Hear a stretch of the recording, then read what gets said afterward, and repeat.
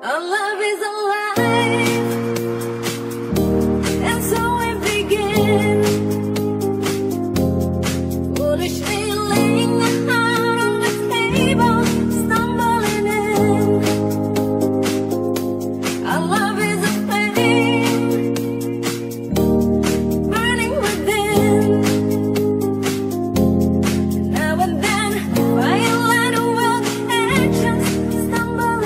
you.